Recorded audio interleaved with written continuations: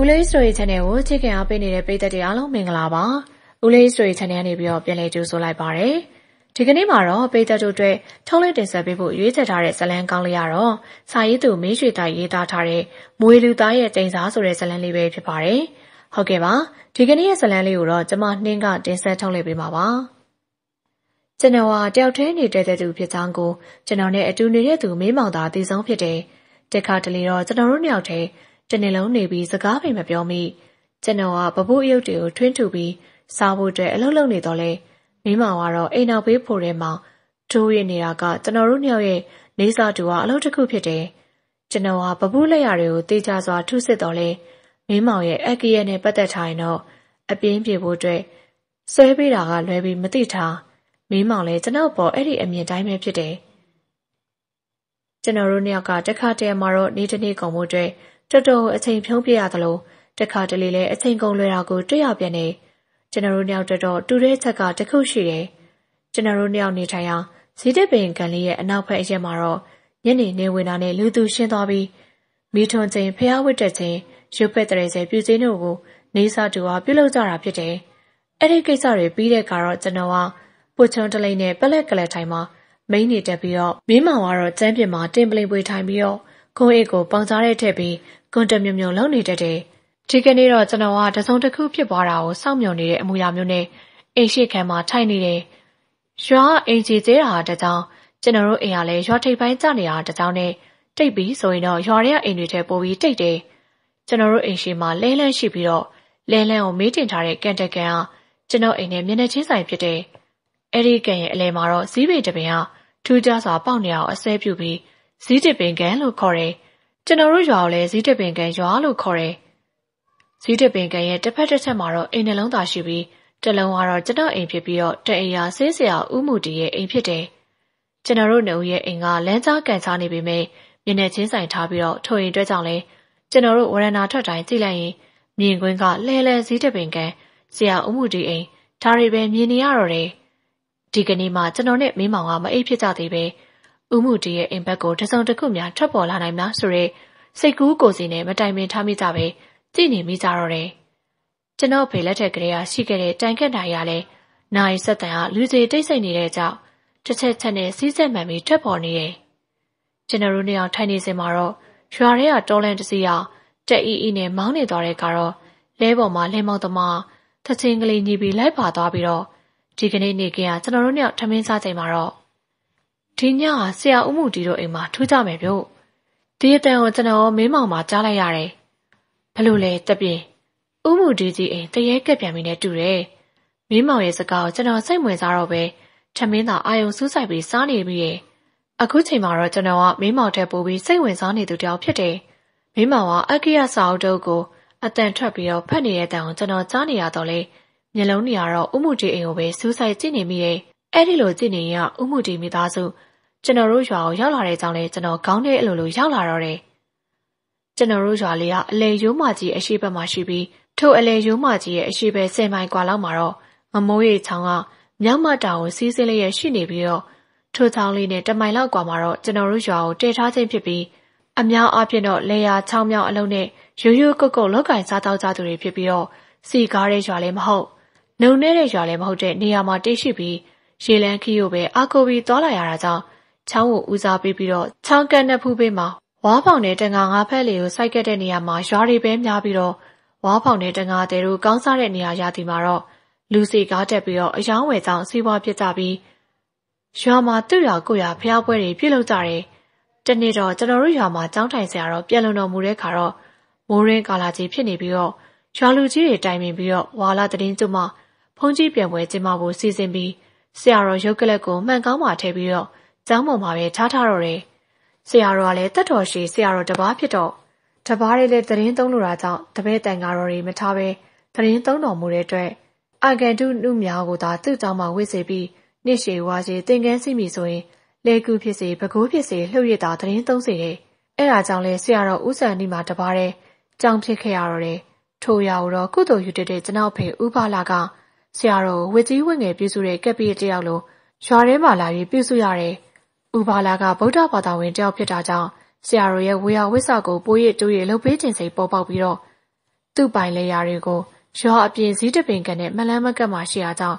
ရွာရဲ့လဲလန်းကြောင်ပေးမှာယခုကျွန်တော်နေထိုင်ရအိမ်တိုင်းဆောက်ခဲ့တော့တယ်။ရွာရင်းဝါလာတရင်ကျွတ်တော့ကုန်းကြောင်မြေကြောင်ဖြစ်တဲ့ခါတော့ဖုံးကြီးပြန်တွဲစီစဉ်ကြရပြီးတော့ရွာလူကြီးရဲ့အပြိုင်ဆိုင်ဖြစ်တာကြောင့်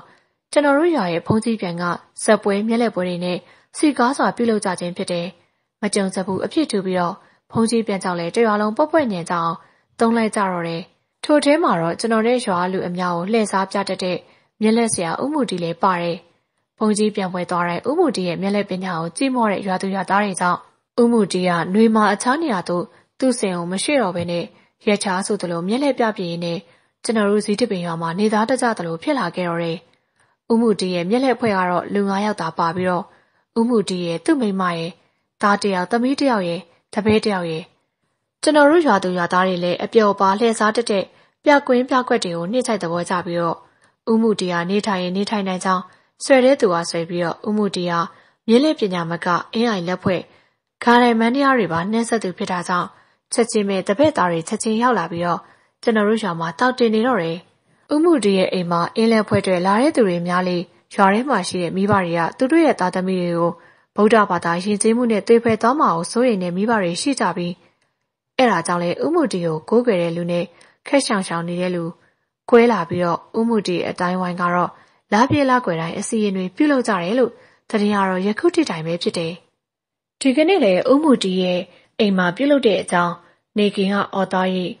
ကျွန်တော်နဲ့မင်းမောင်ထိုင်ဆောင်နေခြင်းဖြစ်တယ်။ ညကတဖြည်းဖြည်းနဲ့ညနေပိုင်းသို့ရောက်လာပြီဖြစ်တယ်။ဥမှုတီဟာဈေးတပင်ရွာမှာနေပြီးတော့တနေ့လောက်ကြာတဲ့အခါတော့ဝင်ငွေကနေစပက်ကြီးရလည်းမရှိဝမ်းစာလည်းမရှိတာကြောင့်စီးပွားဆုပ်သလိုပါရှားလာပြီးဝါလာတရင်ကျတဲ့အခါတော့ဥမှုတီဟာဖျားပွဲတွေလိုက်ပြီးမြက်လဲပြအောင်မှတော်ကာကြမယ်ဆိုပြီးအထက်ညာဘက်ကိုခီးထွက်ခဲ့တယ်။ဥမှုတီဟာ၃နှစ်လောက်အိမ်ကိုပြန်မလာပဲနေခဲ့ပြီးတော့ဥမှုတီမရှိတဲ့နောက်ပိုင်းမှာတော့သူ့မိမနဲ့ကလေးနှစ်ယောက်ကဟန်မပြဲစားနေနိုင်တာကအံ့ဩစရာတခုဖြစ်နေတော့တယ်။ ကျွန်တော်ကိုယ်တိုင်လည်းကလေးနှစ်ယောက်နဲ့မိမကိုထားခဲ့ပြီးသူတို့ဆရာတပည့်နှစ်ယောက်တည်းနေလဲနေတာကိုတော့အံ့ဩမိပါတယ်။ဥမှုတီမရှိတော့တဲ့အခါစားဝတ်နေရေးကိုအင်္ဂလိပ်မပြတ်နေနိုင်ဖို့ဟာအရေးကြီးကြောင်းကျွန်တော်သိလိုက်တယ်။သုံးနှစ်ပြည့်တဲ့အခါတော့ဥမှုတီတို့ဆရာတပည့်နှစ်ယောက်ပြန်လာကြပြီးထို့ပြန်လာတဲ့အချိန်ကစပြီးဥမှုတီကပုံစံတွေပြောင်းသွားပြီးတော့လွန်ခဲ့တဲ့သုံးနှစ်ကသူ့ထံမှာအင်းလက်ဖွဲတွေကိုအကြောင်းပြုပြီးဝင်ထည့်ခဲ့တဲ့ကျွန်တော်တို့ရွာသားတွေကိုနှုတ်ဆက်ခြင်းမပြုတော့ပဲ ငကိုရဲကရွာတရိုးတစ်ခါသာမလျှောက်ဘူးတဲ့သူတယောက်တည်းယခုဆိုရင်တော့အိမ်ထဲကအိမ်ပြေမထွက်တော့ပဲချောင်းအတိုင်းမျိုးယူကြတဲ့ဝါဖောင်သမားတွေစီဟာသူ့တပည့်ဆိုသူကဖောင်သမားတွေကိုခေါ်လာပြီးအိမ်ပက်ချလဲမှာဝလုံးလေးတွေစိတ်အောင်ကာထားပြန်တယ်အဲ့ဒီလိုကာပြီးတော့ဝါဖောင်သမားတွေရဲ့အဆက်အသွယ်နဲ့လက်သမားတွေခေါ်လာပြီးအိမ်ဆောက်ပြန်တယ်အဲ့ဒီအိမ်ကြီးကိုစောက်တဲ့ခါတော့ရွာထဲကလူတွေကိုအလုပ်သမားဖြစ်တရားမှမသုံးပဲလေးပင်သုံးခန်းအင်ကြီးကကျွန်တော်တို့ရွာမှာသူ့အိမ်ကအကြီးဆုံးအခက်တန်ဆုံးဖြစ်နေတော့တယ်။ ဥမှုတီယာရွာလူကိုမိသုံးမှမသုံးတဲ့ပြင်ထမင်းချက်နဲ့သူ့မိသားစုအတွက်ဆရာဝန်ပင်ပကိုးမြို့ဘဝသူတွေသာပဲသုံးတော့တယ်။ရွာတွေကလူတွေကဥမှုတီကိုဒီရွာမှာတစုံတစ်ခုဖြစ်မှကျူးလွန်ပြီးလာရောက်တိတ်ဆောင်နေသူမိသားစုလို့တီတိုပြောကုန်ကြပြီးတော့သူမဟုတ်ပါကလည်းယူသွနေသူတရားလို့ထင်ကြတော့တယ်။အချို့ကလည်းဥမှုတီကိုဂါရာမန်တရားလက်ဖွဲ့အစီအစဉ်တွေပြုလုပ်နေလူစံကောင်းမျက်စိရဲ့အမျိုးနွယ်လိုလည်းအမျိုးမျိုးထင်သိပေးကြတယ်။သူတို့ရဲ့ထင်မြင်အသေးမျိုးမျိုးကိုတော့ကျွန်တော်စီပပူးထုံရင်က အနားမှာထိုင်ပြီးစကားလာပြောကြတာကိုကျွန်တော်ကိုယ်တိုင်ကြားဖို့နာဖို့ခဲ့ပြီးဖြစ်တယ်။အဲ့ဒီအတွက်ကြောင့်လည်းကျွန်တော်နဲ့မင်းမောင်ကမကြားချင်တဲ့အဆုံးကြားနေရတဲ့ကျွန်တော်ကမြမယူရဗပုပညာနဲ့အတ္တမိုးဝဲကြောင်းမှုပြုသူဖြစ်တာကြောင့်နက်နက်မိုးလေးမှမိုးထုတ်အင်အောင်ကွက်လက်မှာအလုံးနဲ့လက်နဲ့မပြတ်အောင်ထုစစ်နေရပြီးအဲ့ဒီလိုကျွန်တော်တို့အလုပ်ကိုလုပ်နေစင်မှာတော့လဲလန်ကြောင်းကကျွန်တော်ကိုမြင်တာနဲ့သူတို့ကရင်နှွေးတောင်ရင်စကားဝင်ပြောကြတော့ကျွန်တော်ကထပြေဖို့လဲခက်နားထောင်ဖို့လဲခက် အဲ့ဒီလိုအနေထားတွေနဲ့နားထောင်ဖို့ကကျွန်တော်အတွက်အသင့်တော်ဆုံးဖြစ်မယ်လို့ဆုံးဖြတ်ပြီးနားထောင်ရတဲ့တာဝန်ကိုပါထမ်းဆောင်ရတော့တယ်။တနေ့တော့ကျွန်တော်ပကိုးရွှေမော်တော်ဘုရားကိုပပူးရုပ်ထုတွေပို့ပြီးမော်တော်စိတ်သို့ပြန်လာခဲ့တဲ့ခါတော့မော်တော်ထွက်ဖို့အချိန်စောသေးတာကြောင့်ကျွန်တော်ကဘိုက်စာနေရနဲ့စားတောက်စရာကိုရောင်းတဲ့ဆိုင်တွေတခုမှဝင်ရောက်စားတောက်လိုက်တယ်။မဟုတ်ဒီတပွဲကိုမှားနေစင်မှာပဲကျွန်တော်ထိုင်နေရစပွဲကို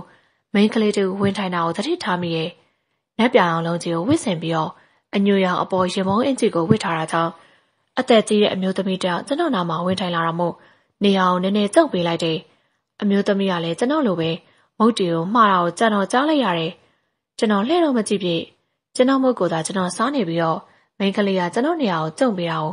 နေရာကျင်းသေးတယ်လို့ထင်မဲယူလာပဲမသိကျွန်တော်ဘက်ကိုပို့ပြီးတော့တိုးလာခဲ့တယ်။အဲဒီခါမှကျွန်တော်ကမျက်နှာကိုကြည့်ပြီးတော့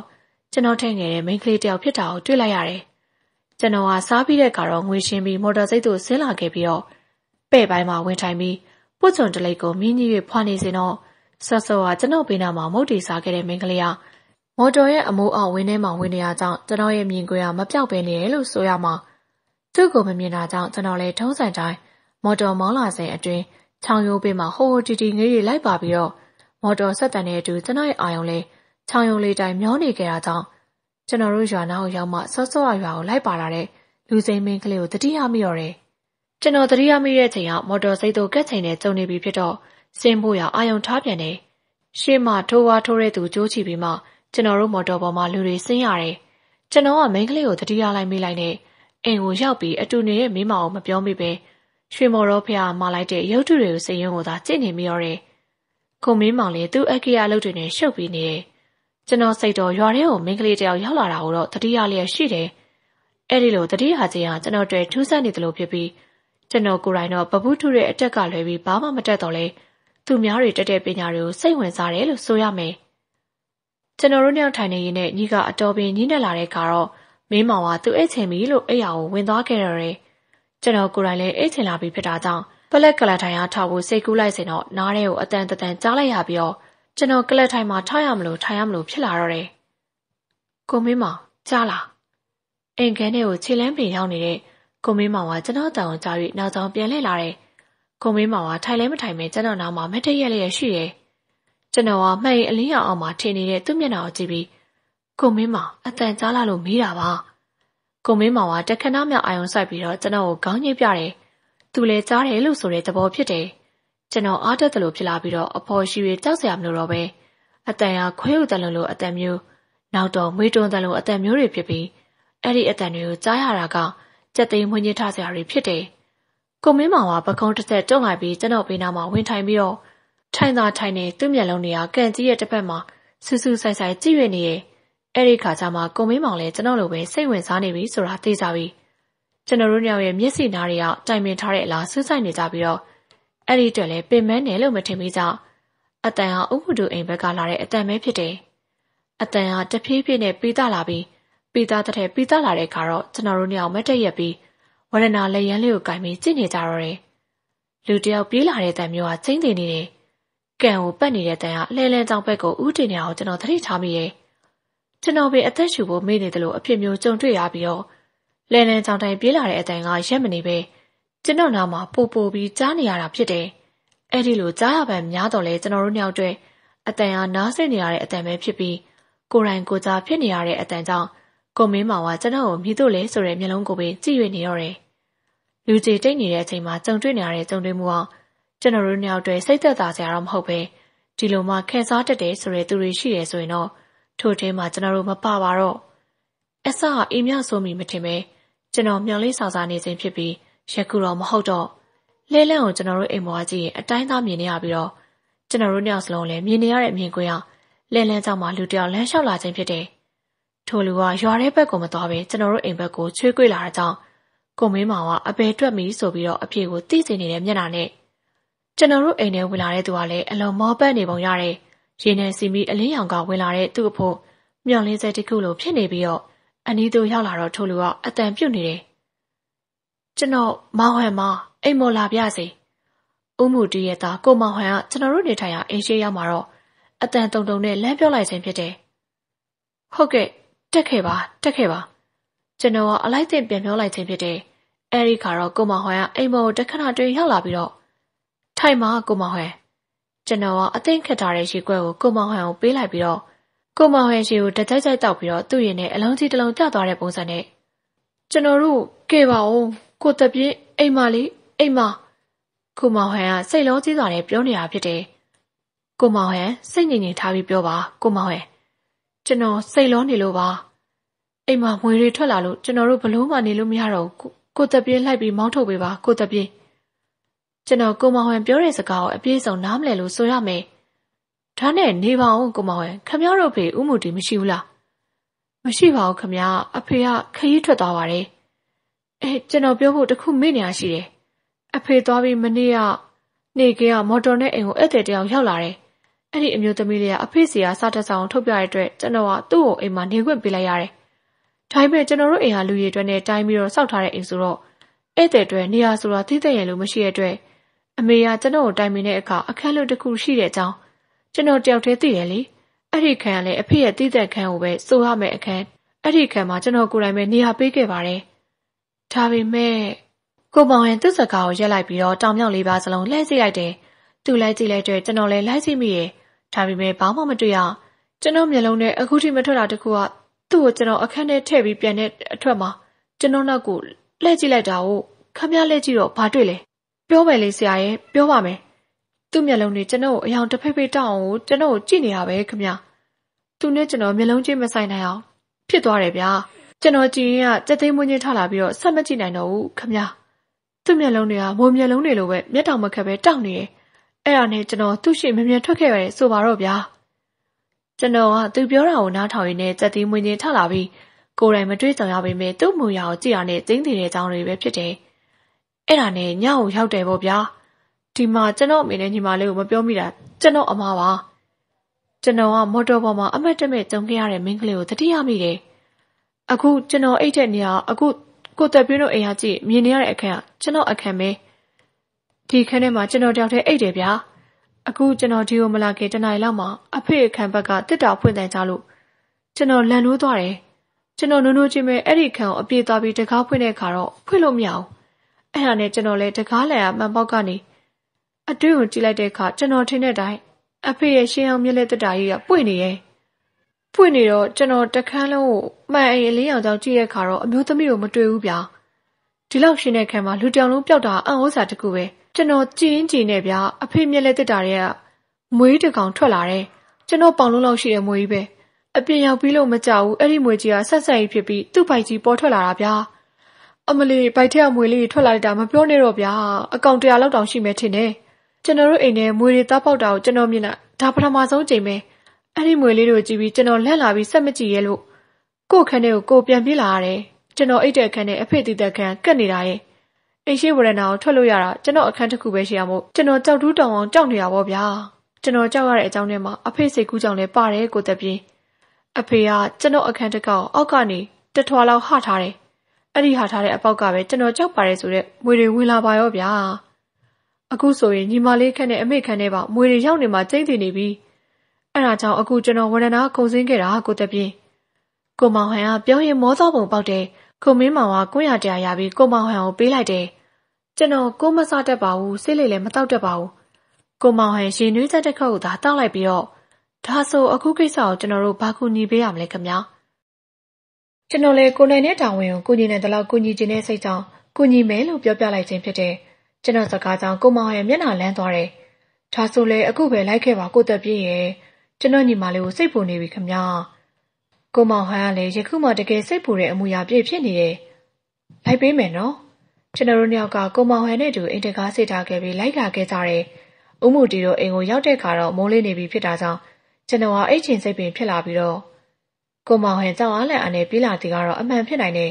သူတို့ရဲ့ချန်စီကိုဝင်းရုံတကဖွင့်လျက်ပဲရှိတယ်သူထွက်လာပြီးပြန်မပိတ်ခဲ့ခြင်းလည်းဖြစ်တယ်ကျွန်တော်တို့အတွက်အခက်တွေ့တာကတော့အိမ်ရဲ့အဝင်တကားပေါက်ပိတ်ထားခြင်းဖြစ်တယ် အဲဒါကြောင့်ကိုမောင်ဟန်လည်းဝရဏမခုံစင်းလာခဲ့ရတာကိုကျင်းတည်နေရပဲဖြစ်မယ်။ဒီလိုလို့ကျွန်တော်အပေါ်တွက်တက်ပြီးတော့တကားဖွင့်မိမယ်။ကိုသက်ပြင်းတို့ဝင်လို့ရမယ်။ဟာမဖြစ်သေးပါဘူးကျွန်တော်ခန္ဓာမှာမွေးမွေးတွေရှိတယ်ကိုသက်ပြင်း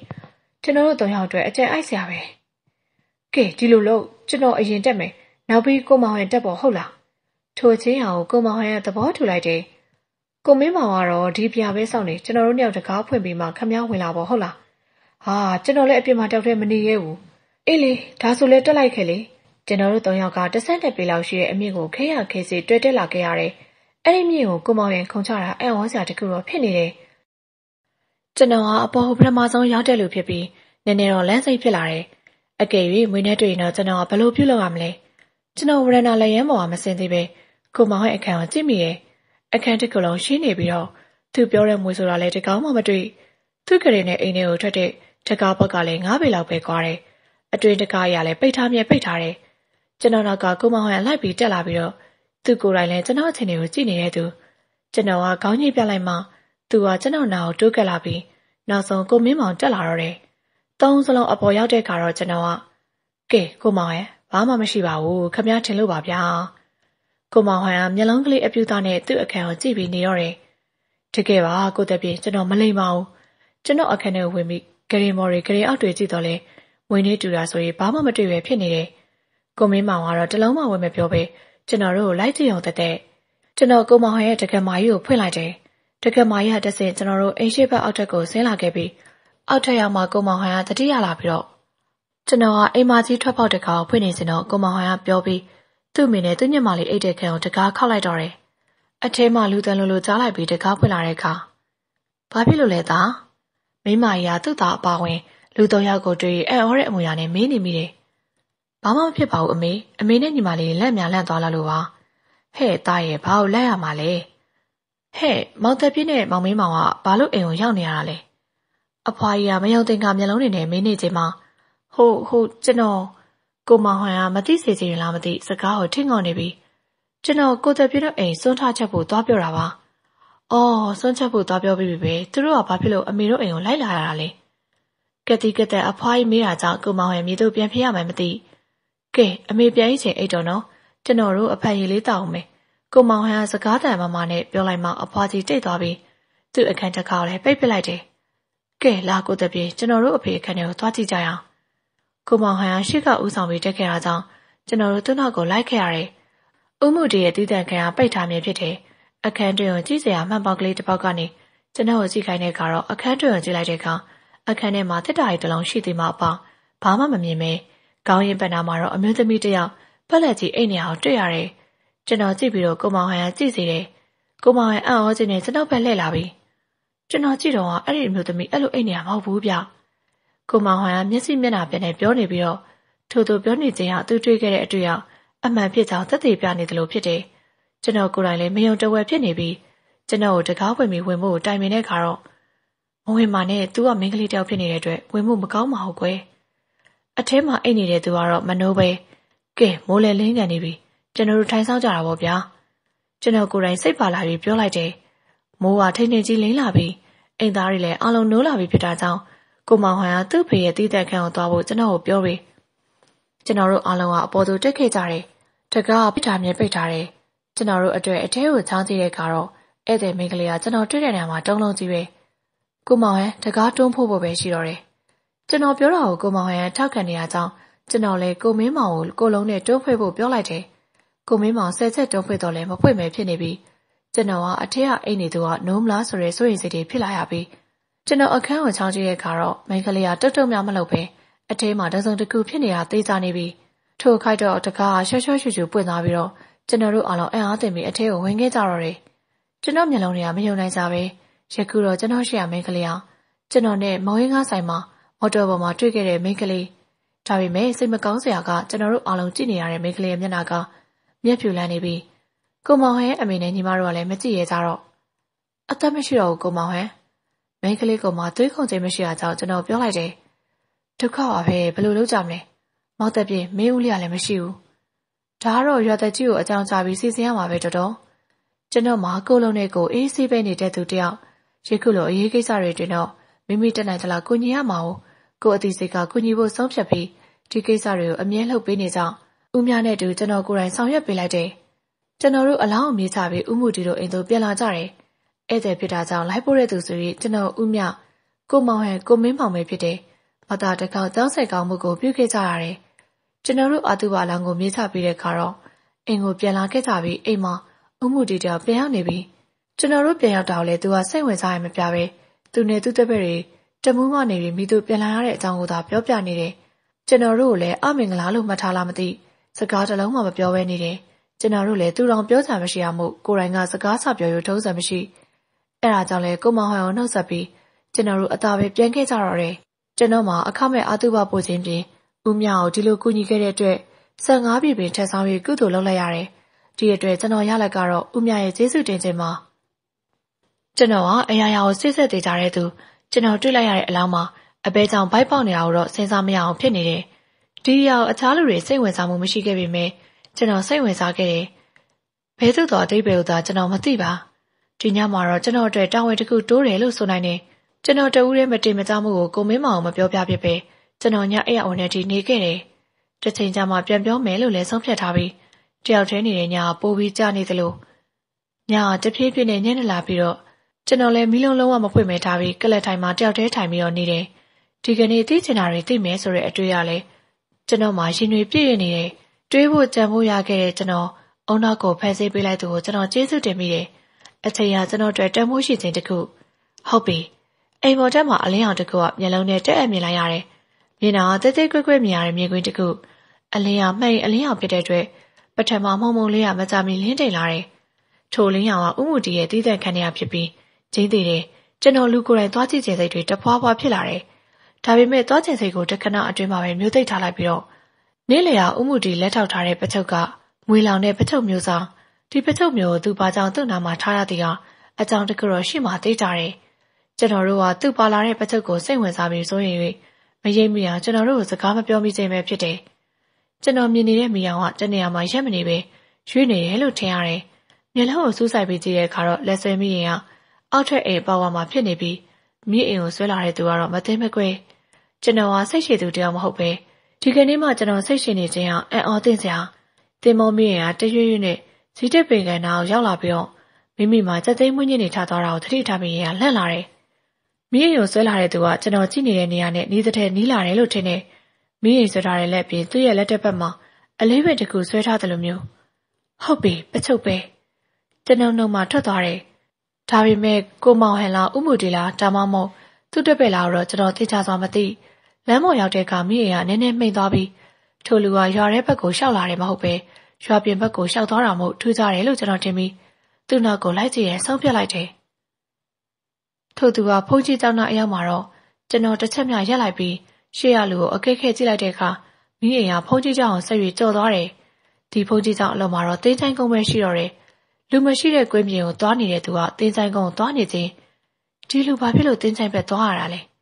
ကျွန်တော်ရဲ့မတင်ငါမှုတွေတိုးတိုးရလာတာကြောင့်ကျွန်တော်လည်းလိုက်ခဲ့ရတယ်သူ့ရဲ့မိရဲ့အလင်းနဲ့သာလိုက်လာခဲ့ရပြီးပတ်ဝန်းကျင်ကိုတော့မြင်ရသူမဟုတ်နီးတက်ထက်နီးလာတဲ့ကတော့ရှေးရလူကဥမှုတီကိုယ်တိုင်ပဲ ဒီလူကြီးသိချင်အောင်ဘာလာလောက်တာလဲသူ့ဘက်ခုံးမှာလွှဲထားတာကပတ်ချုပ်ကျွန်တော်နည်းနည်းတော့ထိတ်လန့်လာတယ်နေကြရမှာကျွန်တော်တို့မြုပ်ခဲ့တဲ့မြေပုံသားမှာသူရက်လိုက်တယ်မိအိမ်ကိုမြေရင်းချလိုက်ပြီးတော့သူ့လွယ်ထားတဲ့ပကြုတ်ကိုမိအိမ်ပေမှာချလိုက်တယ်။ကျွန်တော်အတိုင်းသားမြင်နေရတယ်။ဥမှုတရပတ်ဝန်းကျင်ကိုတပတ်လှည့်ပြီးကြည့်ရကြောင်းကျွန်တော်ရက်နေတဲ့အုပ်ကူကိုအကွယ်ယူထားတဲ့သူမတွေ့ခြင်းပတ်ဝန်းကျင်ကိုဥမှုတရစိတ်ချပြီးလို့အထင်နဲ့သူကမိအိမ်ကိုမြောင်းလေးပကြုတ်ကိုဖွင့်နေတယ်။ကျွန်တော်အတိုင်းသားတွေ့နေရတယ်။ ကျွန်တော်ကမျက်လုံးတွေကိုမျက်တောင်ပင်မခတ်မိအောင်ဖြစ်နေတယ်။ပကြုတ်အန်ကရော့ပုံဝါးနီးနဲ့ရထားတဲ့ရှေ့မျောမျောအရာဝတ္ထုလေးကိုသူအရင်ထုတ်လောက်ပြီးတော့အရာထဲမှာမိသည့်ရာမှထွက်မလားထိုအခါတော့ဥမှုတရပချုပ်ကိုစောင်းလိုက်တယ်။ဟာကျွန်တော်ကိုယ့်ပါဆက်ကိုကိုယ်တိုင်မနှဲပြန်ပိတ်သွားတယ်။မွေတွေကပချုပ်ထက်ကနေပြီးအပြင်သို့ထွက်လာတဲ့မွေတွေကတကယ်မွေစိုးတွေမွေတွေကဥမှုတရကိုလှည့်၍ပင်မကြည့်ပဲကျွန်တော်တို့ဖို့ခဲ့တဲ့မြေပုံစီသို့သွားနေတော့တယ်။မွေတွေကမွေစိုးတွေဖြစ်ပြီးချင်းသေးတယ်။ ကျွန်တော်တို့ဖို့ထားတဲ့မြေပုံပေါ်ကကျင်စာခဲတွေကအနှဲငယ်ဟနေတဲ့နေရာတို့ရှိအကြောင်းမွေစိုးတွေကအရှုပ်ရှုပ်ဝင်ရောက်သွားတယ်။ဥမှုတီမွေတွေကိုမကြည့်တော့ပဲမှန်ရင်အလင်းရောင်နဲ့ပတ်ဝန်းကျင်ကိုသာကြည့်နေတယ်။ကျွန်တော်မြင်မှာစိုးရိမ်နေတဲ့ကျွန်တော်ကခုနှစ်ခုကြားမှာကြောက်စိတ်တွေပြောင်းပြီးပုံနေရတယ်။ဥမှုဒီသူ့လုပ်ကိုသူ့လုပ်ပြီးပြီလို့ယုံကြည်စိတ်ချစာနဲ့ပချုပ်ကိုသူပြန်ထားလာတယ်။ကျွန်တော်ကတော့ဒီအကြောင်းအရာတွေကိုနားမလည်နိုင်အောင်ပဲဖြစ်နေပြီးဥမှုဒီပြန်တဲ့နောက်ကိုကျွန်တော်လည်းနောက်ကလိုက်ပြန်ခဲ့တယ်။ကျွန်တော်ကအိမ်ပြန်ရောက်တော့လဲ ကိုမောင်ဟန်တွေ့တဲ့မွေတွေကြောင့်ဥမှုဒီတို့အိမ်ကိုလာတဲ့ဧည့်သည်မိန်းကလေးတေဆုံးရတဲ့အကြောင်းတွေကိုစဉ်းစားရင်းနဲ့အိပ်ပျော်သွားတယ်။ကိုသက်ပြေကိုသက်ပြေအပြေဟာကျွန်တော်ကိုခေါ်တန်းကြတာကြောင့်ကျွန်တော်ကမောကတဲ့အိယာချလာပြီးတော့နေလေအတော်မြင့်နေပြီကိုတက်ပြည့်လှုပ်ပါအောင်လှုပ်ပါအောင်ကျွန်တော်ကငိုတံမာနဲ့ပြောနေတဲ့ကိုမောင်ဟန်ကိုကျင်းဆက်နေတဲ့မျက်လုံးတွေပုတ်ပြီးကြည့်နေတော့တယ်ဘာဖြစ်ပြန်ပြီလဲကိုမောင်ဟန်အဖေအဖေဆုံးပြီဗျာ ကျွန်တော်ကိုယ်တိုင်ဥမှုတင်နေတူပြန်လာခဲ့တီကကျွန်တော်အိယာမဝင်ခဲ့သေးသေးရဲ့အချိန်ကဖြစ်တယ်ဘလို့ဖြစ်ရလဲကိုမောင်ဟန်ရဲ့မသိပါဘူးကိုတက်ပြည့်ရဲ့မနေ့ကတအိမ်သားလုံးနိုးပြီးထမင်းကြော်စားမဲ့ချိန်ထိအဖေမနိုးသေးလို့သွားနိုးတာအဖေတကူလုံးပြပြီးအသက်မရှိတော့ဘူးကိုမောင်ဟန်ကယောက်ျားကြီးတံမိန်ငိုရီပြောနေတော့တယ်ကျွန်တော်လည်းဘာလို့ရမှန်းမသိတော့နဲ့ကိုတပြင်းရှိရဲ့စီလာခဲ့တာပါကျွန်တော်မျက်နှာသေးတဲ့နေရာကိုကိုမောင်ဟန်လိုက်ရွနေတယ်ခဏလေးစောက်ကျွန်တော်လိုက်ခဲ့မယ်ကမန်ကရန်သူနဲ့ကျွန်တော်လိုက်ခဲ့ရတယ် ဥမှုတီတို့အိမ်ရောက်တော့တိမ်သားလုံးငိုထားတဲ့မျက်နှာတွေနဲ့ကျွန်တော်ကိုကြည့်နေကြတော့တယ်ကျွန်တော်နဲ့ကိုမောင်ဟန်အပေါ်တက်ပြီးဥဥမှုတီခန့်ဝင်ကြည့်တဲ့အခါတော့ဥမှုတီကဒီကုလုံးပြနှဲနေပြီဒါအစိတ်ရှိတဲ့ပိုးကြိုက်တာပဲဖြစ်မယ်ဒါဆိုမွေကောမဖြစ်နိုင်ဘူးလားကျွန်တော်ကိုမောင်ရဲ့စကားကြောင့်တတိယသွားတယ်ညောင်ဥမှုတီမွေရလုံရင်လည်းမွေကြိုက်ခံရတာလည်းဖြစ်နိုင်တယ်ဒါပေမဲ့အစိတ်ရှိတဲ့မွေကြိုက်ခံရတယ်ဆိုရင်တော့ဥမှုတီကထိုနေရာမှာပဲတုံးကနေလဲသွားနိုင်တယ်ယခုတော့အိမ်တီသူအသက်ရှင်ခဲ့ပြီး အိမ်ရောက်မှဆောင်းရသေးလားကျွန်တော်တန်တရားတွေကြောင့်ဥမှုတီရဲ့တစ်တာကြီးနာကိုသွားကြည့်မိတယ်တစ်တာဟာအနေငယ်ဟာနေရလွယ်တခန်းလုံးဘာမှမထူးမချောင်းကျွန်တော်ကိုယ်တိုင်စိတ်အိုက်နေတဲ့အချိန်ကိုမင်းမောင်ရောက်လာပြီးအထုဘကိုစီစဉ်ရတော့တယ်ထို့ကြောင့်နဲ့ဆက်လင်းပြီးတော့ကျွန်တော်ကိုယ်တိုင်ပြန်မပြောပြတတ်တော့လေဥမှုတီဆုံးပြီးတလားခဲ့ကြတော့နေ့တစ်နေ့မှာဥမှုတီရဲ့တပည့်ဖြစ်သူသူ့ရာကိုအလဲပြောင်းမယ်ဆိုပြီးပြန်သွားတယ်ကျွန်တော်နဲ့ကိုမင်းမောင်ကနေစာတူဝါတို့လုံနေရတဲ့ကြောင်းဥမှုတီတို့အိမ်ဆောင်မေးပင်မိနေတယ် ထိုနေ့ကဥမှုတီတို့အိမ်နွားနှုတ်ပို့တဲ့ကလေးကရွာလန်းကိုပြေးဝင်လာပြီးကျွန်တော်တို့အိမ်ရှိကိုရောက်มาတော့ဆက်မသွားပဲအိမ်ထဲဝင်ခဲ့တယ်ကိုတပြည့်ဟိုအိမ်ကြီးမှာလူတွေလူတွေသူ့စကားထင်ခေါ်ပြီးစူးစမ်းပြီးနားထောင်နေရတယ်လူတွေဘာဖြစ်လဲငါ့ကိုပြောစမ်းပါတည်နေတယ်ကိုတပြည့်ဟေးဒုက္ခပါပဲကိုမင်းမောင်ကြီးကြားတယ်မဟုတ်လားကိုမင်းမောင်ကခေါင်းညှိပြလိုက်တယ်ကဲလိုက်သွားရအောင်ကိုမင်းမောင်ကျွန်တော်တို့ညောင်အေဂျီစီကိုလိုက်သွားကြပြီထူးဆန်းစွာပဲကိုမင်းမောင်ကအိတ်ကဲနဲ့မှ ကလဲထိုင်ပေါ်မှာဆက်ကျိုးနေတယ်သူ့တစ်ကိုယ်လုံးလည်းပြနေပြီးတော့ကိုမောင်ရဲ့အမေနဲ့ညီမတို့ကလည်းအပေါ်တဲ့အတက်စင်မှာတုံးလုံးလဲပြီးကိုမောင်ဟန်တိုင်းခဏကိုတစ်ခုလုံးပြနေနေပြီဘလို့ဖြစ်တာလဲဗျာကျွန်တော်ကဘဘူးပဲထုတဲ့သူဖြစ်ပြီးတော့အခြားเจ้าတွေကိုတော့သိသူတရားမဟုတ်တမိသားစုလုံးစိတ်မကောင်းစရာပါပဲဗျာကျွန်တော်အိမ်ကိုအချိန်တော်တကားလာခောက်သူတစ်ချိန်မှမရှိ၍ကျွန်တော်အိမ်ဟာထဲမှာစက်သိမ်းမွေးကြီးထသွားတယ်ကိုမင်းမောင်ကအတွင်းကမှအိမ်နေမှာမို့ကျွန်တော်ပဲအရင်ကြားရတယ် တကားခောက်တန်ထပ်မံထွက်ပေါ်လာပြီးကျွန်တော်ကြောက်ကြောက်နဲ့အိမ်ရှိတကားဝါသို့ထွက်လာခဲ့တယ်အပြင်မှာအလင်းရောင်လိုလိုထရံကြားတိုးဝင်နေတာဖြစ်၍လူတယောက်လောက်ပဲဖြစ်နိုင်တယ်လို့မှတ်ပြီးကျွန်တော်တကားပွင့်ပေးလိုက်တယ်ဟာခမခမကျွန်တော်ကိုအချိန်မတော်တကားလောက်ဖွင့်သူကဥမှုတီရဲ့တပည့်ဖြစ်သူစာမိသူရှာတက်လက်နဲ့ကျွန်တော်ကိုဖြူဖွေးတဲ့သွားရင်းနဲ့ပေါ်အောင်ပြုံးပြတော့လဲစာမိရဲ့မျက်လုံးတွေကိုကျွန်တော်ကြည့်ပြီးမှင်သက်မိတယ်ကျွန်တော်ဥပုပ်ထွက်ပြီးပြန်လာတာအကိုကျွန်တော် ဆရာမူတီးအိမ်မှာကျွန်တော်တက်တာတလုံးကြံခဲ့လို့လာယူတာပါအကိုလိုက်ခဲ့ပေးပါကျွန်တော်တခြားပစ္စည်းဘာပစ္စည်းမှမယူပါဘူးသူအတင်းခေါ်ရတာကျွန်တော်လိုက်ခဲ့ရတယ်အဖော်ဖြစ်ကိုမင်းမအောင်မနှိုးခဲ့မိခြင်းသူအတင်းခေါ်ရတာကျွန်တော်လိုက်ခဲ့ရတယ်အဖော်ဖြစ်ကိုကိုမင်းမအောင်မနှိုးမိခဲ့ခြင်းကိုဥမှုတီအိမ်အောင်မှာနောက်တရမိတယ်အကိုဒီကားဆောင်တော့ကျွန်တော်တက်တာတွားယူလိုက်အောင်မယ်စာမီယာကျွန်တော်ကိုတင်းမောမိအိမ်လေးနဲ့အင်းရှိတွင်ထားခဲ့ပြီးတော့သူကအပေါ်တက်သူတက်သွားတယ်ဒီအိမ်ကြီးမှာမိသူတယောက်မှမရှိတော့တာမို့ အခန်းတိုင်းကိုတကားတွေအသေးပိတ်ထားခဲ့တာကကျွန်တော်ကိုယ်တိုင်စာမီပြန်မစင်းလာသေးတာနိုင်ဝက်ခန့်ကျွန်တော်အပေါ်တက်သူတက်လိုက်ပြီးတော့ကိုမောင်ရဲ့အခန်းကအသေးပိတ်ထားတယ်ကိုမူတီရဲ့တိသက်ခန်းလည်းအသေးပိတ်ထားတယ်ကျွန်တော်ဖြစ်တယ်အခုဒီခန်းဖွင့်နေတာမို့စာမီဒီခန်းထဲဝင်ပြီးသူ့တစ်တာဝင်ယူတာပဲဖြစ်နိုင်တယ်တခက်လုံးမိရဲ့အလင်းရောက်မှတွေ့နိုင်တော့လဲစာမီကိုမတွေ့ပေကျွန်တော်ကြက်သိမ်းဖြတ်ခနဲ့ထားသွားပြီးတခန်းလုံးမှာဒီတစ်တာတစ်လုံးပဲရှိတယ်ကျွန်တော်သိတယ်ကြောင်တကောင်ရဲ့မျက်လုံးကိုအယောင်တောက်တောက်အလင်းက တစ်တာနာမှာထွက်လာပြီးကျွန်တော်ကြည့်လိုက်တဲ့ကတော့တစ်တာအဖုံနည်းနည်းဟနေသည်မှလွယ်ရဘာမှမရှိစာမီကိုကျွန်တော်ချိန်ဆမိတယ်ကျွန်တော်အေးရေးပြောင်လုပ်တယ်လို့သူ့ကိုစိတ်ဆိုးတယ်ထိုစဉ်တော့ရုတ်တရက်စာမီကြောင်စဉ်းစားမိတယ်သူအပေါ်တက်ပြီးဒီခန်းတကယ်ပဲဖွင့်လာတာကတေချာရဲ့နဲ့ယခုမတွေ့ခြင်းအောင်စာမီကျွန်တော်ကိုနောက်ချင်လို့တစ်တာကိုဝင်ပုံးနေခြင်းပဲလို့ကျွန်တော်ထင်ပြီးတစ်တာကိုမိရဲ့တစ်ဖက်နဲ့ကန်ထားတာမို့ခက်ရခက်စေဖွင့်လိုက်ရတဲ့ခါတော့အမလေးမွေမွေ ကျွန်တော်ကတစ်တာကိုပြန်မပိတ်မိပဲအံအားသစ္စာနဲ့လက်ထက်ကမိရဲ့ကြီးထွက်ကြသွားတယ်မျက်လုံးများကအနီအောင်မိတောင်းနဲ့တူတစ်တာထဲမှာမိလောင်နေပြီမို့ကျွန်တော်မသိစိတ်ကကြောက်လန့်အားနဲ့အိမ်ချမ်းပြင်သို့ရောက်အောင်ပြေးလာမိတယ်လဲကြည့်တဲ့ခါတော့ဥမှုတီရဲ့တည်တဲ့ခံမှာမိတော့ကြီးဖြစ်နေပြီးဒီမိတော့ကိုတွေ့ရရွာတွေကလူတွေလာရင်းနဲ့လှည့်ကြည့်လိုက်တဲ့အခါတော့ဥမှုတီရဲ့တည်တဲ့ခံတွေမှာမိတော့ကြီးဖြစ်နေပြီးဒီမိတော့ကိုတွေ့ရရွာတွေကလူတွေလာရင်ကျွန်တော်ကိုတွေ့လို့မဖြစ်နိုင်ပဲတတိယပြီးကျွန်တော်အိမ်သို့တကြိုးရဲပြန်ပြေးလာခဲ့တယ်။ အိမ်ရောက်တော့ကိုမင်းမောင်နိုးမနိုးကြည့်တဲ့အခါတော့မနိုးပဲအိတ်ကောင်းတော့ဥမှုတီရဲ့အိမ်ကြီးကတော့မိတော့မိတဲ့နိုးကဝါမြုံနေတယ်။ရွာတွေကလူချို့မိဝိုင်းနေတော့လဲအိမ်ကြီးကိုဆွဲနေတဲ့မိတော့ကအနိုင်ယူသွားပြီ။အသက်များစုညံ၍ကိုမင်းမောင်နိုးလာပြီးတော့ကျွန်တော်ဝရဏာမှာမိတော့တွေကြည့်နေတော့ကြောင့်ဟာတပြည့်မိဝိုင်းနေမှုမသွားဘူးလား။ကိုမင်းမောင်ကရေပုံးတပုံးယူပြီးပြေးဆင်းသွားတာကိုကျွန်တော်တွေ့တော့လဲကျွန်တော်မတက်ရက်လည်းပဲရက်နေပါတော့တယ်။ဟုတ်ကဲ့ပါရှင်ဇလန်းလေးကတော့ဒီမှာပဲပြီးဆုံးသွားပါပြီ ဇလန်းလေးကိုအဆုံးထိအချိန်ယူအားပေးနှဆင်ခဲ့တဲ့ပြည်သက်တယောက်ချင်းစီတိုင်းကိုလည်းကျေးဇူးတင်ပါတယ်ဆက်လက်ပြီးတော့ဇလန်းကောင်းများစွာကိုတင်ဆက်ပေးသွားမှာမို့စောင့်မျှော်အားပေးကြပါအောင်ရှင်